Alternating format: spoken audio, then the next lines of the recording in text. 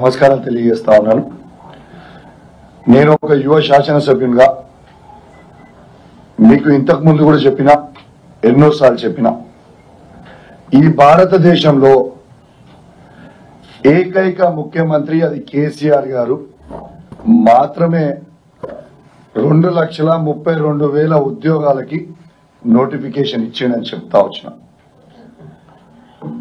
ఇవాళ ఒక్క కేసీఆర్ గారు మాత్రమే ఈ భారతదేశంలో రెండు లక్షల రెండు వేల ఉద్యోగాలని నింపింది ఒక కేసీఆర్ ఒక్కడే. నేను పదే పదే సవాల్ గురు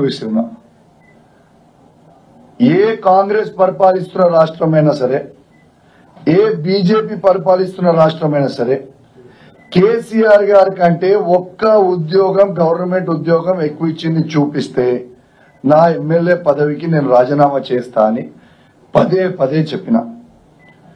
ఇవాళ దాకా కూడా కాంగ్రెస్ వాళ్ళు కానీ బీజేపీ వాళ్ళు కానీ ఒక్కరు కూడా ఈ సవాల్ని స్వీకరించలే. అంటే దీని అర్థం ఏంటిది? యావత్ తెలంగాణలో ఉన్న ప్రతి యువత అర్థం చేసుకోవాలి.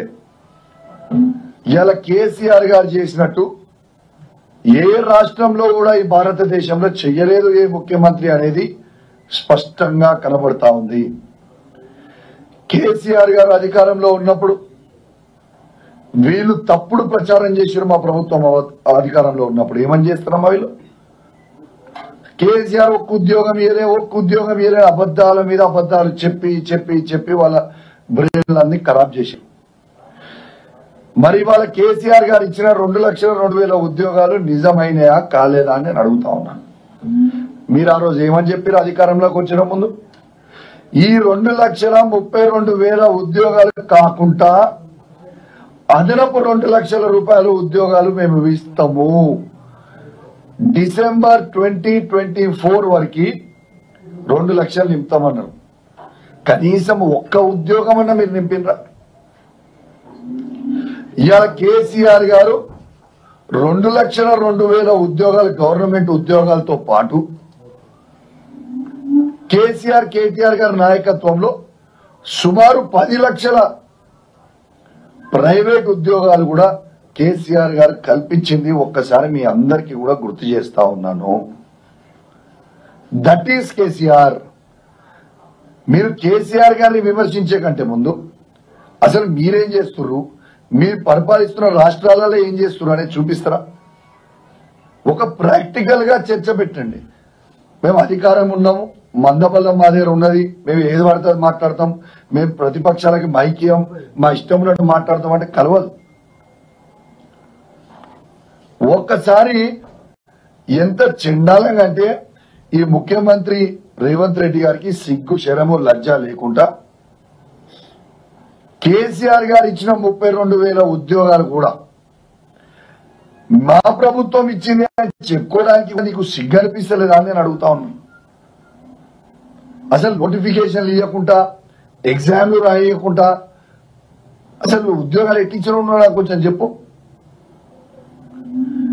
మందికి పుట్టిన బిడ్డలు నా బిడ్డ అని చెప్పి ముద్రానికి నీకు సిగ్గులేదా అని అడుగుతా ఉన్నాను రేవంత్ రెడ్డి గారిని ఇవాళ నువ్వు ఒక్కటే జవాబు చెప్పు. మీరు జాబ్ క్యాలెండర్ ఈ డిసెంబర్ వరకు రెండు లక్షల ఉద్యోగాలు ఇస్తామన్నారు. ఇప్పుడు August. September October November December నాలుగు నెలలే ఉన్నాయి. మీ జాబ్ క్యాలెండర్ ఏది? ఎప్పుడు ఎగ్జామ్లు పెడతావు? ఎప్పుడు నోటిఫికేషన్లు ఇస్తావు? ఎప్పుడు ఇస్తావు? మీరు మొన్న కూడా నిరుద్యోగులకు ఏమని చెప్పారు మేము ఇస్తామని చెప్పి ఇగోండి నిన్న అసెంబ్లీలో బట్టి విక్రమార్క గారు జాబ్ క్యాలెండర్ అని ఒకటి రిలీజ్ చేసింది.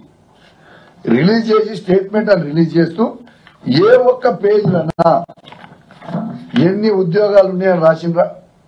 ఏ ఒక్క డిపార్ట్మెంట్ అయినా ఎన్ని ఉద్యోగాలు ఎన్ని వేకెన్సీస్ ఉన్నాయని రాసిండ్రా?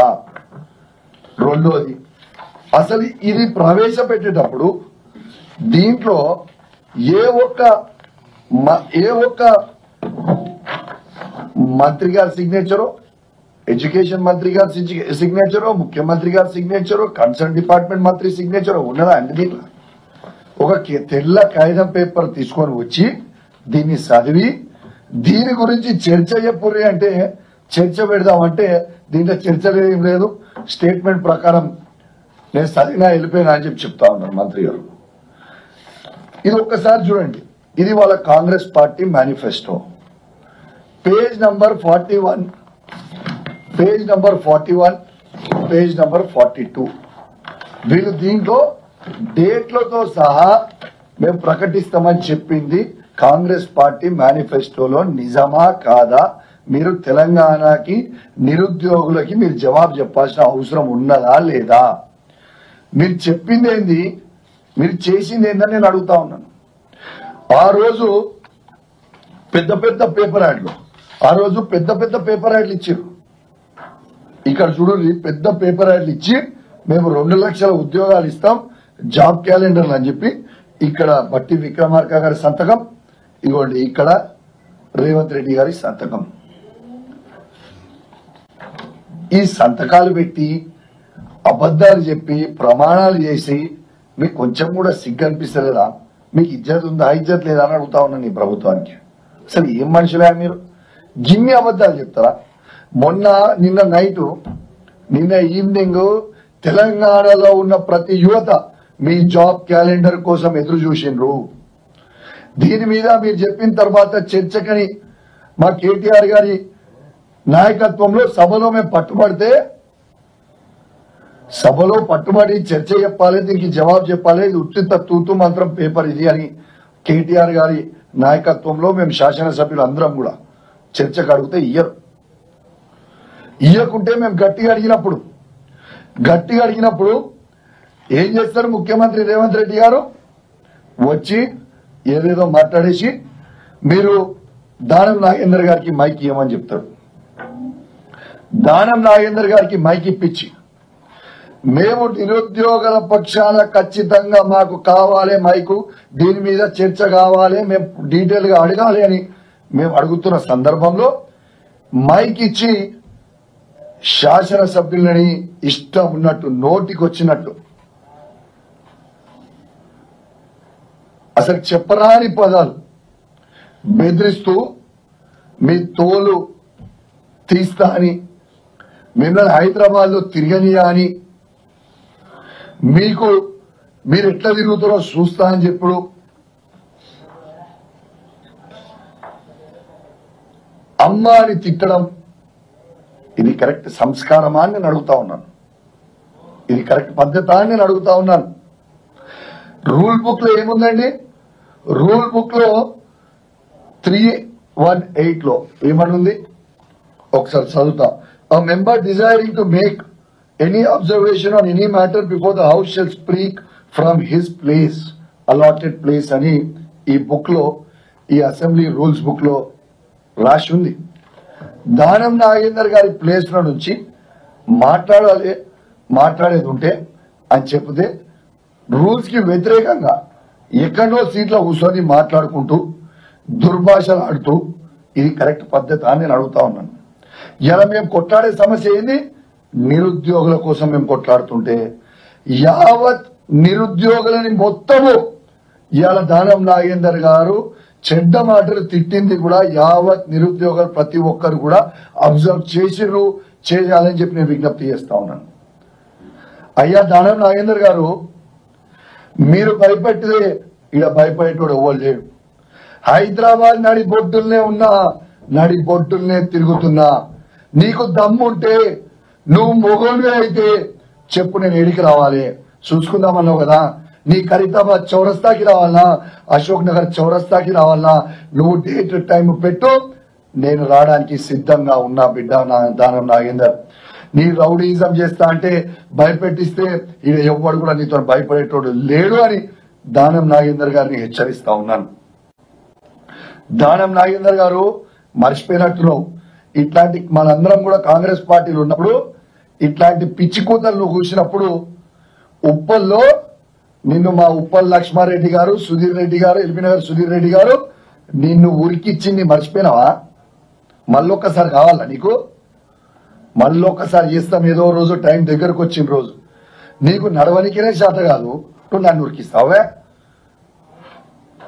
నీ అరవై ఐదేళ్ళ నువ్వు మేము ముప్పై తొమ్మిదేండ్లు నీకే అంత దుల ఉంటే మాకెంత దుల ఉండాలి బ్రదర్? నోరు దగ్గర పెట్టుకొని మాట్లాడు. దానం నాగేందర్ గారు నువ్వు టీ షర్ట్లు వేసుకొని పౌడర్ కొట్టుకొని తాజ్ కృష్ణాలో తిరుగుతున్నట్టు అడవై ఇండోర్ గేమ్స్ ఆడినట్టు అనుకుంటారా అయింది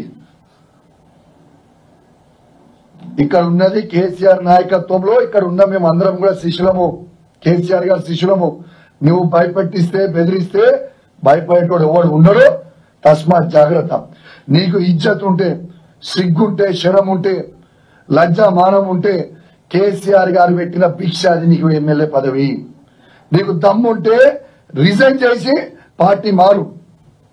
రిజైన్ చేసి పార్టీ మారి వేరే పార్టీ నుంచి వచ్చి గెలిచినాక మాట్లాడు. సిగ్గు లేకుండా మా బీఫా మీద గెలిచి నువ్వు మాట్లాడుతున్నావు ఇష్టం ఉన్నట్టు మాట్లాడుతున్నావు నువ్వు మేము సవాల్ వేస్తున్నాం నువ్వు రిజైన్ చేసి మళ్ళా పోటీ చేయి కానీ నువ్వు ఆడి నుంచి ఉండి మా శాసనసభ్యులని మమ్మల్ని బెదిరిస్తే భయపడేటోళ్ళు ఎవరు లేరని తెలియజేస్తూ మరియు యావత్ తెలంగాణ లోకానికి కూడా నేను దయచేసి గమనించమని కోరుతా ఉన్నాను.